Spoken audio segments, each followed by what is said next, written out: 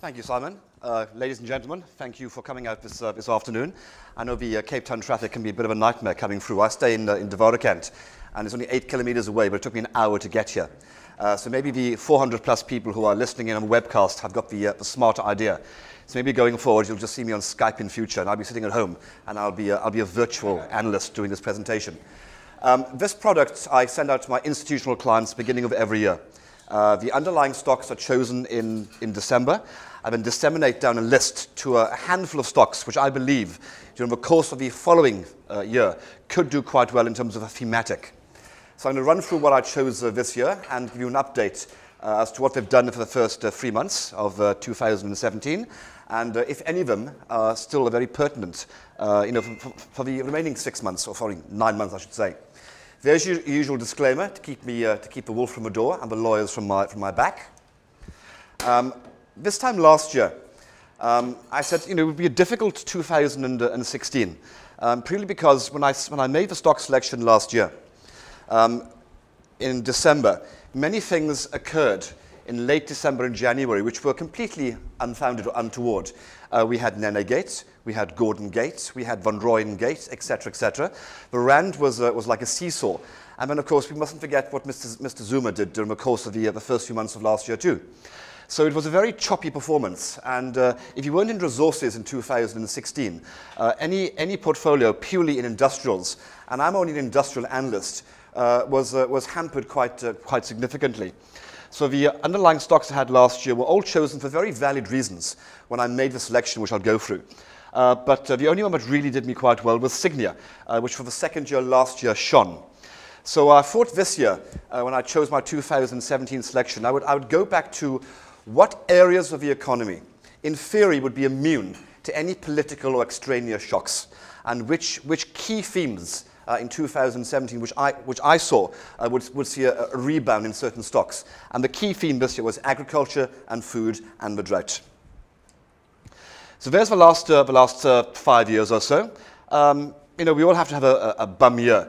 And uh, my 2016 was a, was a pretty poor year. I don't like to, to make losses in anyone's portfolio. And this is a theoretical product of my clients. But uh, the aggregate for the last uh, five years, I've been doing this now for the last seven, uh, has still been fairly good. But uh, I won't dismiss that last year was not my best, uh, my best year. So there was my 2016 selection. As you can see, some were pretty horrific. Torre Industries, which I really thought would have a fairly good year, uh, when I chose it on the, on the back of restructuring, um, increased profits, perhaps a buyout from Stellar Capital was down 50%. Sygnia was up 38%. A story which I, which I chose last year, purely because Rand had gone uh, to hell in a handcart. And I thought that uh, there'd be good demand for offshore Rand hedge diversification in portfolio. Completely reversed in the course of years, the Rand strengthened. Now, is there still a need to have a, a Rand hedge component in any portfolio, uh, you know, for your longer term investments? The, the answer is absolutely yes. Uh, but uh, at that point in time, uh, a story looked good at the start of the year, but the end of the year it didn't look uh, that, that brilliant. And again, as the indices uh, track there, they are full of resources stocks, and I simply do not cover resources. Uh, so it did, it did hamper me last year uh, because uh, I'm an industrial boy. Uh, there was my 2015 selection, again a fairly good year. 2014, 2013, 2012, and you'll see a fairly recurring theme during, during these selections. Many stocks go in and out consistently. So what uh, would, I, would I do uh, in 2017? And again, for, for complete transparency, um, my pension funds are managed by Sanlam, Glacier Wrap Funds, and in this product. I own CIL and Curro, and I have done for the last uh, five years. I've also owned Kaap Agri as well for the last seven years. So uh, not many analysts these days tell you what they own. I publish once a year what I, what I physically invest in, for complete honesty. And I think uh, as an analyst, you should put your skin uh, in the game as well, not just to tell your clients to buy the stock. Uh, perhaps uh, more analysts would, uh, would get better performance if their own money was in the game. Oops, I'll go back one. That was me last year, me and Her Majesty. We had a complete annus horribilis. mine wasn't as bad as Her Majesty's. we, we watched she went through back in the day. But uh, for me to make losses uh, is something I really dislike doing. And uh, for me to, uh, to publish on a consistent basis where I've lost money uh, does not sit well. But I'm, I'm, I'm big enough to say I did make a loss and it wasn't a great year. So there was my 2016 selection. I'll do a, a quick rundown uh, as to what exactly went on. Um, you know, CIL I'm carrying forward. Why did I drop Sygnia? Because I didn't believe uh, the stock would have another great performance here. Uh, for the last two years, it's been, it's been an outstanding performer from its 840 IPO. And so far this year, the stock's been fairly flat. I didn't put Stellar in because I thought it would have a very flat year again. Uh, the, the year of deal making for corporates uh, is over. Uh, the market does not want high growth, paper issuing mini conglomerates. They want solid earnings, solid NAV, and companies like Stellar and Torre are completely out of favor. Santova was dropped, not because I don't think it's a great company, it's a fantastic little business, but it's, uh, it's a it has rand hedge exposure. And with Brexit and the pound uh, falling in a heap, um, you know, it will have translation uh, uh, uh earnings problems going forward but I still like the company. And Astoria, as I said, it was, a, it was a great little listing, very well timed, but the rand has gone against it. You know, when I wrote this last year, the rand at one point was nearly 18 to the dollar. I think this morning we're at 1250, 1260. So there was my 2017 selections with the prices as and when I chose them on the 23rd, I think, of December. So why did I choose these stocks specifically and why the distinct pairings? In many cases, uh, as I said to you, this, is, this product is done for institutional clients. So in many cases, the likes of an Allan Gray, a Metropolitan, a Stanlib, a Coronation can't buy a lot of the smaller companies, but they can buy the bigger holding companies.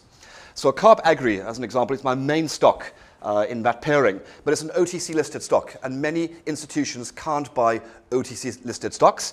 So I put Zeder in, because I thought about Zeder, given it about 8% of Kaap Agri is Zeder, would, uh, would perform quite well. And again, Zeder feeds through into my Pioneer Foods selection on, uh, further down, which I'll come to. AEEI and Premier Fishing. When I wrote this, I'd been following Premier Fishing uh, for quite some time. I really liked the company. And at 450, I thought it would open at 520. It did open at 520. I have a 650 target. And at some point, the benefit will start flowing through into AEEI which is a main holding company and owns 55% of Premier Fishing. It also announced last week at my Small Talk conference in Cape Town, it intends to unbundle its technology assets uh, in early 2018, and they believe uh, that, that, uh, that that listing alone will be worth 2 billion rand. So the complete look-through to AEEI, in theory, uh, once they unbundle their tech assets and you, you then have a market valuation for Premier Fishing, um, I think is, between 6 and 650 a share. So I'm hoping at some stage that massive discount to the underlying assets will start to be narrowed as the market suddenly has a complete look-through valuation. Astral and Pioneer, again, I like to put in two very large counters for my, for my, for my clients. And you can't get much bigger in the food space uh, than Astral and Pioneer Foods. Um, that was purely a play again on the maize price. Uh, we all knew last year that the drought we've had, particularly in, uh, in the old Transvaal, as I still call it, um, meant that the underlying maize harvest slumped to about 7.8 million tons. And the price on SAFEX probably doubled last year. At one point, yellow maize and white maize was trading around 5,000 rand a ton. Um, as of this morning, uh, looking forward to the July futures, we're trading below 2,000 rand a ton. So food stocks last year were significantly hampered because their input costs saw a dramatic rise uh, in, the, in the underlying operations, which they simply could not recover from a distressed consumer. So you saw margin erosion, you saw profit falls, and in Astral's case, as the country's largest poultry company, their poultry profits last year fell by 91%. Inside Pioneer Foods, 54% of Pioneer Foods' profits come from essential foods, which is basically um, maize milling, bread, mealie pap, etc., etc. They simply couldn't recoup uh, the increased cost, and they only saw a 6% rise in profit in that company. CIL, I've put in again, I think for the sixth, for the sixth year. It's been a stock slightly out of favor for the last uh, 12 to 18 months for a combination of reasons. I'm probably one of the very few people um, that's actually been to see the Angolan operations uh, for, my, for, my, for my sin a couple of years ago. Uh, I, do, I don't recommend anybody go to Luanda for a, for a week's holiday. It's not fun, and it's terribly expensive when you're spending $10 for a can of Coke and $45 for a Steers burger. But uh, luckily they paid. Uh, CIL is a combination of businesses. It's involved in power infrastructure, uh, building materials, um, it bought a, a, business recently in prepaid meters called Conlog, but its, its choice asset is an oil services business in Angola, which treats oil waste when you drill for oil. The market believes, and it still believes to a certain regard, uh, because I listed this company many, many years ago, that Angola as a country is not doing that well. It's true. Uh, the IMF is helping to bail out the, the, the, economy. The economy is not doing that well as, a, as an entity. But the thing the market consistently fails with CIL is for every barrel of oil drilled, waste is produced. Production in Angola has been stable or slightly rising. So more waste is produced. If you saw a declining uh, pumping capacity coming from Angola, then you know, CIL would not look so rosy. But we've seen profits from AES, its Angolan operation, rising significantly, six months on six months on six months. There's also concern that it can't get money out of the country. Under Angolan law, if you follow all the rules, you can get your money out in between 30 and 60 days. And in 2016, CIL pulled out 20 million US dollars from Angola. Now, just as, a, as, a, as an aside, they only paid about 20, 22 to 23 million dollars for the company six years ago. And last year, their share was 20 million dollars. They intend to pull out 35 million dollars this year. So it's immensely profitable. Um, there was an offer to buy AES from CIL, one of the Portuguese partners, uh, wanted to do a, a separate spin-off and an unbundling. And uh, if CIL had sold its stake uh, in AES, it would be worth approximately 60% of the com company's market valuation. Um, last, the last stock is, is ANSYS. Uh, every year, I like to put in a small little company. Uh, but you wouldn't really put in your granny's portfolio. Uh, but you might put in a, in a speculative portfolio, of hoping you know, to do quite well. Now, ANSYS is a company that I've been covering privately for a client for about two and a half years. It's predominantly involved in, uh, in, uh, in technology, defense, and telecoms, run by a very uh, smart black entrepreneur called Teddy Daka. He also presented at my conference last week in Cape Town. And this stock, when I first picked it up about two and a half years ago, was trading at 30 cents. It's now at about, a, well, it was around 30 when I, when I, when I did this. I think today it's about, a, about around 28, around 30 as well. Uh, but we did have a good spike when I put it into my top uh, five or my top stocks this year. So I'll, I'll, go, in, I'll go into uh, more of these in the, in the following slides. So that's how we stand at present. I updated these uh, as of this morning before, before, before market opened. So as you can see there, oh, where's this little pointy thing? There we are. Um, as, of, as of this morning, uh, the, top, the top selection was up just over 10%. The benchmark indices was up between 5 and 6%. Um, ANSYS, which has been as high as 170, has, given back some gains uh, in the last week or so. Otherwise, that, uh, that 10.5 would have been a bit higher. But I'm very happy that uh, the larger stocks that I put in of Kaap, Zeder, Astral, Pioneer uh, have held up quite nicely. Uh, now that Premier Fishing is listed, I'm hoping that AEEI has some benefits, and CIL. Um, they're a February interim results period. Their results should be out in uh, mid-April. Um, I'm hoping that uh, that company will, will start to perk up. And ANSYS, again, having, having, having had a, a, good run on the back of my selection, it was up by a third uh, in 10 days, has given some, uh, some value back. But as Teddy uh, indicated last week in the presentation, uh, his results, which are coming out probably in the next uh, few months, uh, should show con continued meaningful recovery. And on that share price, the stock is trading on a P of 7, based on my estimates. Where are we? Let me go back. Uh, flip forward. So we'll start off with the, with, the, with the two agricultural themes at the start, was Zeder and Kaap Agri. Now, I've been covering these two stocks uh, for a long, long time. Zeder was probably listed, I think, in 2005 or 2006, and Kaap Agri is a 100-year-old Western Cape agricultural business. So why have I chosen those two?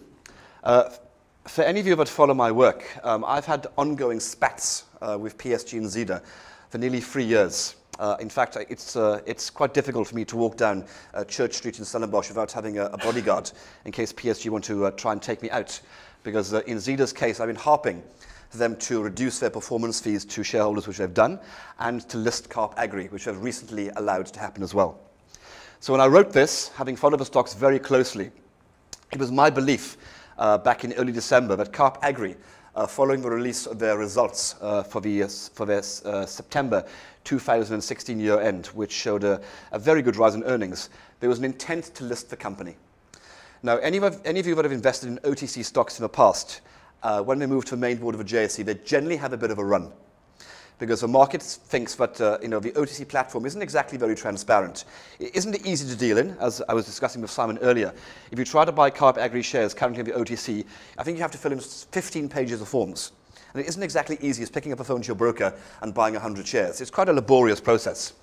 So when I, when I got a whiff that Kaap was looking to, to list on the main board of a JSE, it was a no-brainer. The stock at that point was trading at a P of 10, and uh, its main comparative companies, if it were to list on the main board of a JSE, which it confirmed it was doing on the 16th of February at the AGM, would be a Cashbuild on a 20 and a Massmart on a 25. So I thought that based on my earnings forecast for 2017, that Kaap Agri was worth at least 48 Rand a share and maybe 60 Rand by the close uh, of 2017. Uh, as of this morning, uh, it's trading at 44 Rand 80. Uh, so it's had a very good run. It's up by 50% since uh, I got whiff of the listing. Now that feeds through into Zeder. So if you can't buy Kaap Agri as an institution, you can buy Zeder. Because one thing that Zeder hasn't done consistently in the last couple of years is add value to its shareholders. 75% of Zeder's entire market capitalization is taken up by a stake in Pioneer Foods. And as I discussed earlier, because food companies didn't do well last year, Pioneer Food share price fell, and as such, Zeder didn't go anywhere. So again, the thematic of a, of a, recovery in food companies due to lower input costs, I thought the Pioneer Foods would do well. Kaap Agri would list, and as such, Zeder would see a significant uplift in value because the, it, some of the parts would see, would see a nice kicker uh, in terms of share price performance and in terms of earnings. And that's exactly what's happened. As, I, as you saw earlier, Zeder is up uh, to about 7 Rand 71, and I think yesterday it hit a new 52 week high. So can you still buy the two? The answer is yes. Uh, if you can buy Kaap Agri, which is currently quite difficult because all the offers in the system have been pulled, because if you owned Kaap Agri, why on earth would you wish to sell it at 44 Rand 80 when you know uh, in, in, the middle of this year it's moving its listing to the main board of the JSE and you're probably going to get a significant upward revaluation. Uh, even on the current share price, it's trading on a P of 15 uh, historic, which is still good value compared to its comparatives in the sector. So the way to play Z uh, Kaap Agri and Pioneer Foods currently is via Zeder, because Zeder, as of this morning, is trading at about a 10.8% discount to some of the parts. So that, uh, that uh, little preamble there gives you a, a, a, fair indication as to why I like the stocks and uh, why I think that both companies still have further to go. Oops. AEEI and Premier Fishing. Now, for us living here in the Western Cape, uh, Premier Fishing and AEEI are, are, are, homegrown companies. Now, AEEI, uh, based in Waterfront, uh, is the country's most empowered business. In fact, it won the JSE award last year for being the most empowered company. Uh, the second most empowered company is Oceana Fishing. And uh, as I was discussing with Simon earlier, uh, empowerment is becoming very important in fishing, moving up to the 2020 reallocation of long-term fishing rights, because the government and uh, the Department of Agriculture, Forestry and Fisheries wants empowerment to be a critical criteria going forward for transformation of the sector. So up until a few years ago, most of the large uh, allocations of the key species of horse mackerel, hake, anchovies and pilchards went to a small handful of what you could call white-owned fishing companies with tacit black ownership. That's all about to change. And Premier Fishing believes as a, as a, as a wholly owned and wholly black run, fishing company is well placed to improve on its current tiny 5% allocation. It has nothing in hake, it has hardly anything in horse mackerel, it has a tiny allocation in pilchards, not much in anchovies, and uh, it's hoping, come up to 2020, that its empowerment credentials will enable it to either get more allocation from the government and or buy out companies that need empowerment credentials to get quota going forward. Um, I put it in because it wasn't listed when I, when I put the stock down. Uh, it only listed on the 2nd of March at 4 Rand 50. It opened at 520. I think, I think this morning it's trading at about 475 to 480. But AEEI was listed. Now, AEEI used to own 100% of Premier Fishing. It now owns 55%. And as I, as I, indicated to you earlier, it also wants to spin off its tech arm. Um, as I put there, the tech arm, they believe, and uh, on, a, on, a, basic valuation is with at least 3 Rand a share. So if you add in all the underlying assets, uh, AEEI in theory is worth between 6 and 650 a share, and uh, when I chose it, it was trading at 3 Rand 70, and I think it's now trading at about 390, having been as high as 450. Do I still like Premier Fishing on the back of the IPO? The answer is yes. Now, there has been a bit of a, uh, uh, some, uh, some profit taking in the last week since the listing because Sea Harvest jumped on the bandwagon. And Brimstone, which owns Sea Harvest, is listing uh, the company at the end of this month um, on the main board of the JSE and is looking to raise 1.5 billion rand. Uh, the Premier Fishing IPO was at uh, 527 million.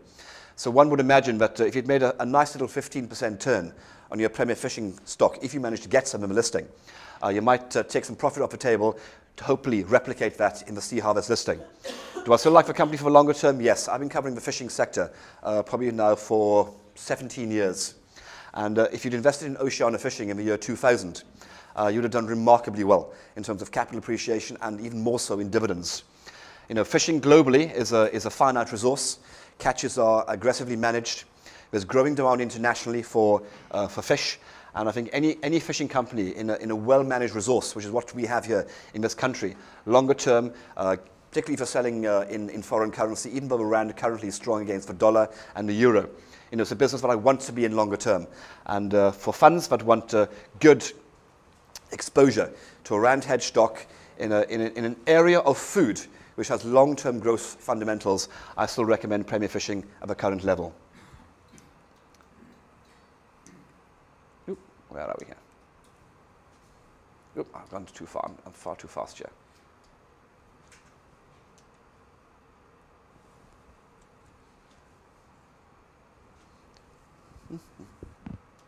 There we are. My two large stocks, Astral and Pioneer Foods. Now, I listed Pioneer Foods back in the day in 2007, and uh, I've been involved with Astral Foods probably now for the last 10 years. In fact, I had a very public row with the company a few years ago when we were injecting their chickens full of brine.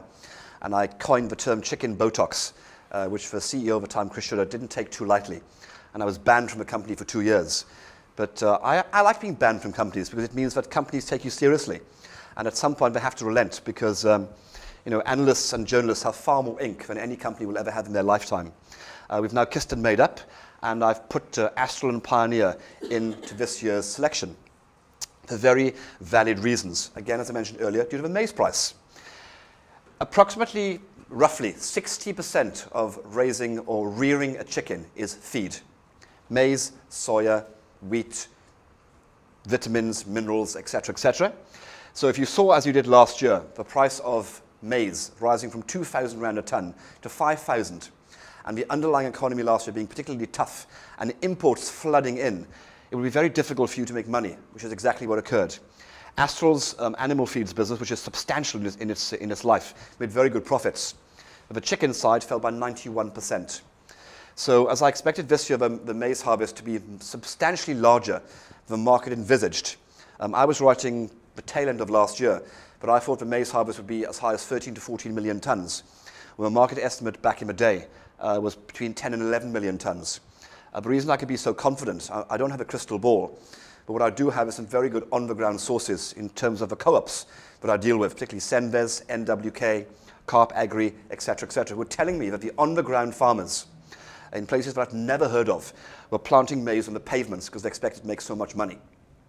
And they expected a very good rebound uh, in the maize uh, crop this year due to a combination of reasons. One being very good rain, which we've, which we've had in Gauteng or in the Transvaal. And secondly, a little thing called plant population, which I learned uh, last year. Plant population means that if the ground is moist and the seed germinates, you get far more plants uh, in one small area, which means you get a much better yield per hectare. So a combination of good rain and good plant population means that the yield per hectare will, will rise substantially higher than the market anticipates, which is exactly what happened. Uh, the Crop Estimate Committee, uh, I think about two weeks ago, uh, forecast uh, in their second expectation for the year that the maize harvest this year would be uh, between 13 and 14 million tons. And as such, the SAFEX price is continuing to plummet. So Astral uses yellow maize, Pioneer predominantly uses white maize. So if a maize price is going to fall substantially during the course of a year, the input costs to both of these companies will fall, which means there'll be margin recovery and profit rebound. And that's why both of these stocks have been running hard so far this year. The market is looking through the short-term problems in Astral Foods regarding poultry imports, Eskom cutting off power to certain parts of its plants because the, um, the municipalities aren't paying their bills. That's all, I call it all white noise. At the end of the day, we all know what's going on regarding imports. We all know what's go going on regarding the economy. But if you as an investor are suddenly seeing dramatic profitability increases in companies, which means the PEs will fall, the share prices in theory will rise. That's exactly what's going on in these two. And both of these stocks, I think, uh, from memory, are up over 20% year to date. Astral had a target price, I think about 160. I think it was 160. Uh, it got to 157.98 at one point in the first two weeks uh, of my selection. And Pioneer, uh, I had a target price of 200 Rand. It's trading currently about 177 Rand. And I still think that both of those stocks have got good legs. Um, as the maize harvest starts to be uh, uh, put in the silos and the input costs start to feed through to their bottom line, which would only come uh, due to their year ends in the first half of a new financial year, which is post-September 2017. So both of those stocks are, are favorites of mine. and I still think they have, they have more to go. Hmm, where is this thing? CIL. Uh, again, a stock that I've mentioned I've had in my portfolio consistently for the last five or six years. Uh, last year was the first year in five years it hasn't given me a good return. And, uh, and year to date, it's probably just off a couple of percentage points. Again, Raoul Gamsu the CEO, uh, presented at my conference in Cape Town last week and, and gave a very upbeat and stirring um, forecast for his company. Um, you know, so why doesn't the market like the company currently? It's a large rand hedge company. Over 60% of its earnings are rand hedge, but currently the rand is quite strong. So there will be translation um, difficulties going forward. There's issues, uh, the market believes in repatriating cash from Angola, but I've told you there's no issues. If you follow the rules, and the oil industry is so pertinent to Angola, um, they actually don't want to annoy their oil companies, so you can get money out. And they have just agreed with about a quarter of their contracts for their, for their, for their, for their dollar-based revenue to be diverted to their Mauritian bank accounts, which is at much lower tax rates. The real big bugbear has been working capital. Now, this company has been very, very fast growing. And, I, and I, I use the same analogy of CIL to Curro Holdings, which is a company that I've been following again for many, many years. Companies always need cash to grow. They either call in their shareholders for cash in terms of equity, or they borrow money from the banks in terms of debt. But we as investors often want solid earnings and solid dividends. But with a fast growing company, it's always difficult to get both. So the CEO says, What do you want? If you want dividends and a fairly mediocre earnings profile, fine, I'll just stop growing. Dr. Chris at Curro said exactly the same thing. If you want dividends, I won't build any more schools, I'll take on no more children, and I'll become a cash cow. But we as a market always want growth. And in CIL's case, for the last five years, it's delivered on average a 16 to 18% rise in HEPS year in, year out. Now, I will take that any day. I want companies in a pension fund or a long-term portfolio which is going to give me rising earnings and at some point, a good dividend flow. So CIL currently is delivering very good profits. Its underlying operations in prepaid meters, in oil waste, in power infrastructure, in building materials are all performing well. The market simply does not believe the story. And at some point, as many of us in the room will know if we've been following stocks for a number of years, the market often misprices stories. But at some point, it'll all reverse. And I'm hoping at some stage, with a near 5 billion rand order book, with good earnings growth coming this year and a solid company. Uh, but this company will start to return to norms. And uh, I think the stock currently just under 23 Rand, I think is, is, an, underlying bargain. There aren't many companies that I know of which have solid uh, growth tra trajectories in power infrastructure and in oil and gas, both, as we know in this room, long-term areas of, growth for the globe, which is trading on a P of between 7 and 8. And I will take that any day of the week.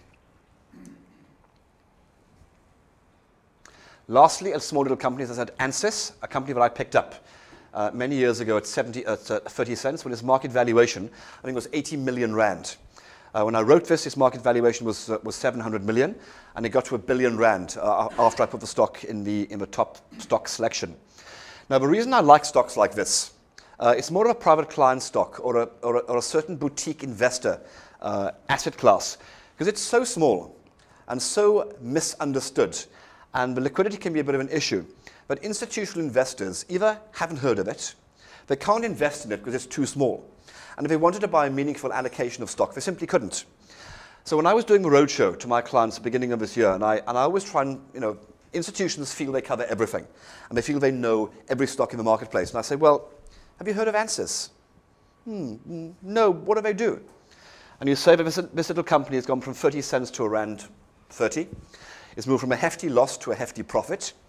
Uh, it's got great empowerment credentials, and it's doing some, some very good works with Transnet and with uh, fiber optic telecoms, etc., etc. They start to prick up their ears. And uh, I'm forecasting earnings this year to March of 17 cents, and 17 cents in around 30 gives you a P of around 7. Now, then the CEO and the chairman were at my conference last week, and they were still very confident of a very good growth trajectory going forward. Now, I'm not quite sure where you all live in Cape Town, but where I stay in Greenpoint, we're digging up the streets, putting in fiber optic cable uh, for all the internet. And uh, they are involved in that. They, do, they don't dig up the streets, thankfully, but they're involved in, they're involved in supplying all the connectivity, the bits and bobs, and the back-end services to, to telecom companies that are digging up our streets.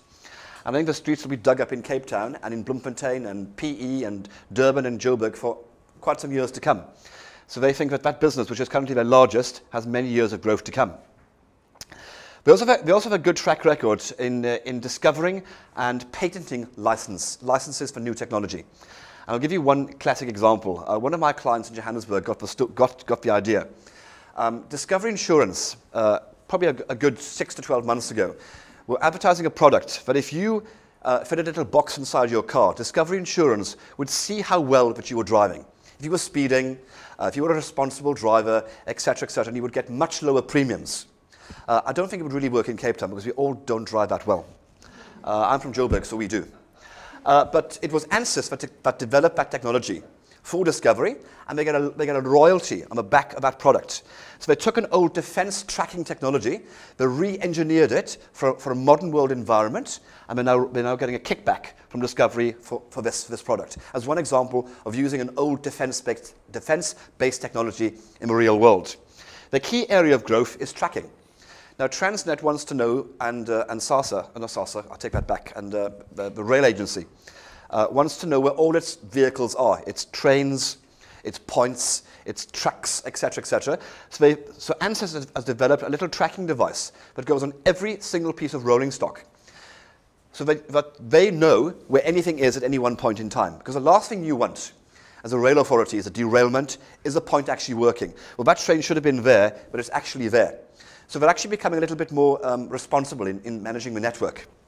So that's a, a nice little product of theirs too. The other key area of this company is mine safety and mine technology. Now, we all know, uh, given what's going on in the mining industry, that safety and fatalities is a significant area of government concern. And there aren't many weeks that go by without, without hearing of, of some issue at some mining company. So what they have done is they've developed specific technology uh, which they're selling to mining companies to try and mitigate mine accidents going forward by tracking where workers are in the mine. If there's gas in the mine, they put little sensors in the shafts to, to try and detect uh, a rock fall or a rock blowout.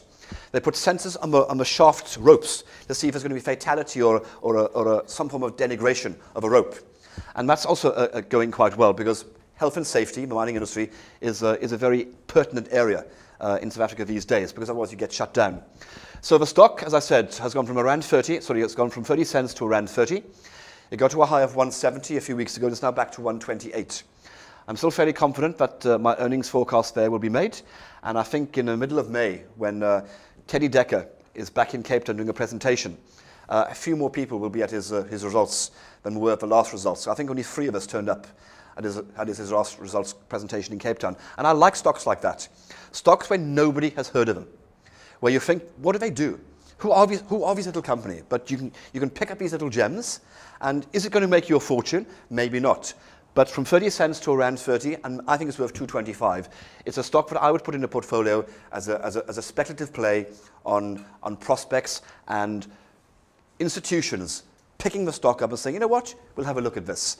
And there's only one institutional investor currently in the stock, which is Investec, because it's too small for most people. So that's the, my little spec play. And then Curro I left out, uh, not because I don't like the stock. I like the stock a great deal. It's the second largest stock in my pension fund. Um, but I've been covering the stock for many, many years. And uh, when I looked at this, it was trading at about 48 Rand. And I didn't think the stock would have a, would have a, would have a great year. Um, it's doing really well. Uh, but you know, the stock had a very good run last year and the year before, and I didn't think this year would have, would, would have much of a share price performance, and so far it's been fairly flat. Uh, Dr. Chris van der Merwe had his results in Cape Town two weeks ago, and they were startling results. Great, great numbers coming out. But, you know, it's probably in the price. It's a stock that I own, I probably wouldn't want to sell. Uh, but uh, I left it out because I didn't think in this, in this product it would give me the capital appreciation that I, that I needed. When I have a, a little product for my clients called Black Book, and I'm an old-fashioned analyst. I can't use iPads or laptops because I tend to lose them or break them. Uh, so I write things in, in little, little leather arch files, little, little black books. And I publish that on a consistent basis. So what did, I let, what did I leave out this year and why? One stock that I'm very fond of is Rolfes. They had their results a couple of weeks ago, interim results, which are up 34%. They also were at my conference last week. And that company has been the best performing small cap stock of the last 12 months. It's doubled. So when a stock has doubled, um, I really couldn't put it in. Uh, it was trading at about uh, five rand when I, when I looked at it. It's at 570, I think I wrote a note yesterday, it was fi at 577, uh, getting near to my six rand 50 target. So I thought most of the easy money had been made. Uh, I left Senwes out because at that stage, um, the real impact of a, of a maize benefit and a maize recovery hadn't been factored into its underlying valuation. It has now. Senwes is one of the largest companies you've probably never heard of. It's a vast titan uh, in the agricultural field based in Klerksdorp. Uh, turnover of over 10 billion rand. It makes probably half a billion rand in operating profit. Uh, and it's a giant in the space of grain trading, grain handling, etc., etc. And as a tidbit, many years ago, they used to own Heinz, and then they sold it to Pioneer Foods. So it's a very large business, but it was, it was substantially impacted in the last couple of years by the drought, which saw material earnings fall because it makes most of its money from moving and handling grains. And if a crop was low, then they don't make much money. But the crop this year is bouncing back to 13 to 14 million tons.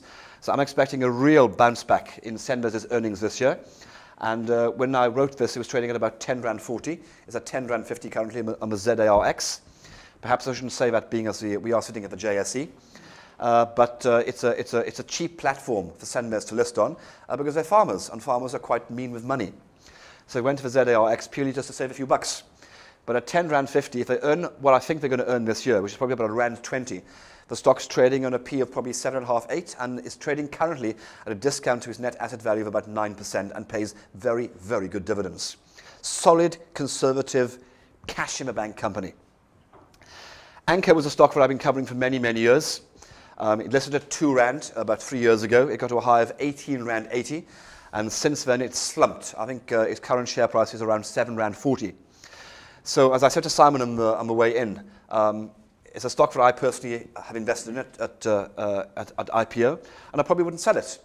Uh, firstly, because the, the CEO uh, is my former boss when he was uh, uh, at Nedbank, and I was his head of sales, and he was the head of industrials, and I think he's a very smart guy.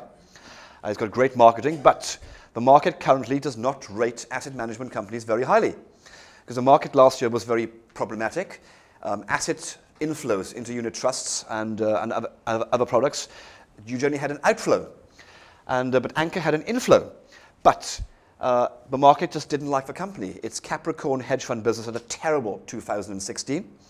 Uh, its earnings have been uh, consistently cut. And I think its trading updates recently, we, it's looking at, at, reporting about 60 cents a share. Uh, its high at some point in 2016 was a rand. So the stock has significantly derated. Uh, so I didn't put it in because I didn't think the market uh, would, uh, would, would value the company as I value it this year.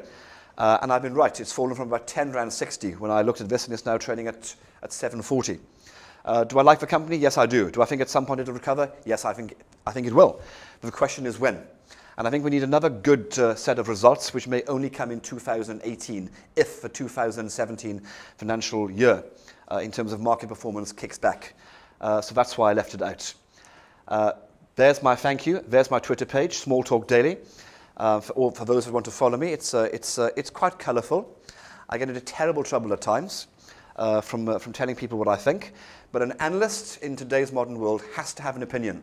And many analysts at uh, the larger houses these days are too scared to tell you anything due to compliance, banking relationships, etc., etc. I have no affiliation. I work for Vunani Securities, and we are a completely independent a securities stockbroker. And as such, I have the freedom and, uh, and flexibility to say exactly what I like, and I do. Ladies and gentlemen, thank you.